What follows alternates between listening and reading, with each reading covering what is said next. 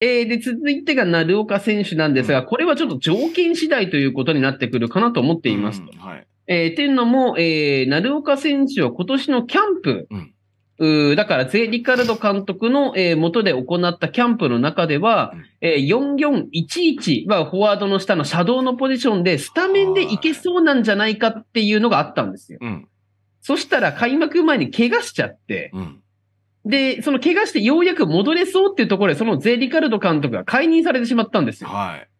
で、戻ってきた初戦が、水曜日にあったルヴァンカップ、だから、秋葉監督の初戦になっちゃったんですね。うんうんうんで、一応これからは、あの、いわゆる秋葉監督としては自分のその練習の強度についてこれる選手を使っていくって言い方はされてたんですけうん。ど、うん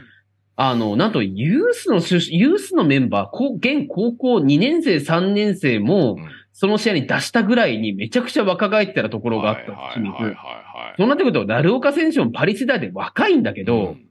その一個下、パリどころかを一個後のロサンゼルス世代からも3人登用したみたいなところがあったのなで、るほど。もしかしたら、うん。ナルオカ選手からの若さであっても、ちょっと他のチームにレンタルもう一回行ってきてくれなんてことはあるんじゃないかというのもあるかもしれない。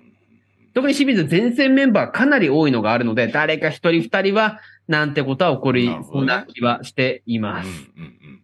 で、行くんであれば、じゃあなんで今治なのかなんですけど、441いわゆるトップ下系のポジションになるんですが、うん今今治ほら中川和樹選手がお怪我しちゃうんって、そうだ、なるほど。6月くらいの戻りなんですよね。はい。なので、というポジションでハマりそうなら相模原自体ガンガンやれてましたから、なる岡くんだったら合うんじゃないかなっていうのを入れていただいたよと。